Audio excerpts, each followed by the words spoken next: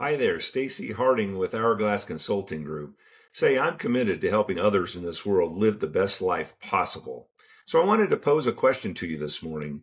Have you ever stopped to consider what stories you may be telling yourself about you that really aren't true?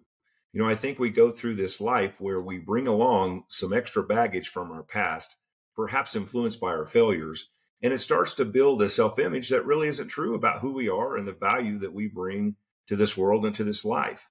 So I'd ask you another question. What two or three things today might you be telling yourself that really aren't true?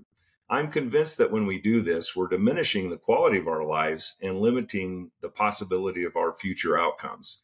So, if you're a mindful person about your life and you are pursuing significance and success, and you'd love to chat more about this, I hope you'll reach out to me. I'd love to talk. Have a wonderful day.